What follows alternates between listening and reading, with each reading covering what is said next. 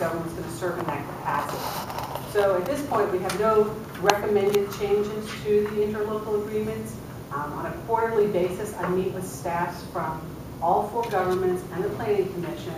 Um, We discuss uh, our enrollment trends, we discuss development trends, where activity is occurring, um, uh, any type of data related to residential population growth.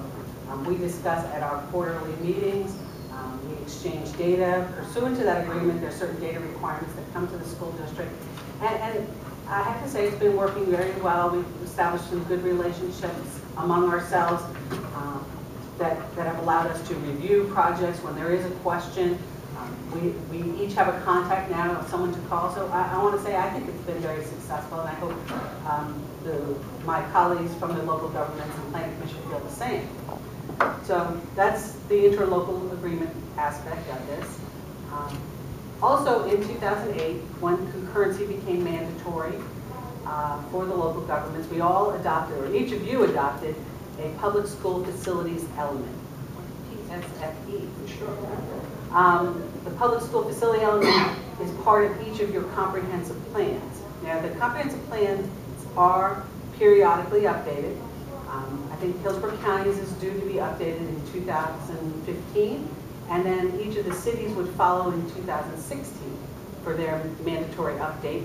And we would assist in the update of the public school facilities element as we work to prepare that back in 2008. Um, I think the planning commission, and I think, where's Ray?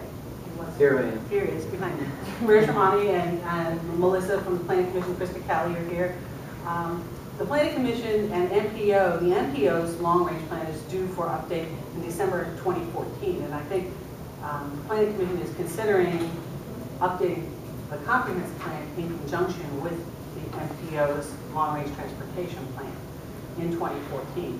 And as those discussions progress, um, we'll be involved in updating those public school facilities uh, elements and the data and analysis and- and reviewing um, what requirements uh, are needed in there still because of change in legislation. So uh, at this point, I would say it's looking to me like 2014, the end of 2014 will be what the schedule are on, or right after that in 2015 to get the comprehensive plans. And I don't know if Ray wants to add, or Melissa wants to add anything on that? I'm familiar with the comprehensive plan process, I'd love to have it. Um, So that's where we are with that. And then really the next, those are my first two topics. Next topic is enrollment projections. Um, The, the state of Florida Department of Education provides to us our enrollment projections for capital outlay. And those capital outlay projections have, have shown that there's going to be a decline over the years. Um, We're not entirely sure that that's really the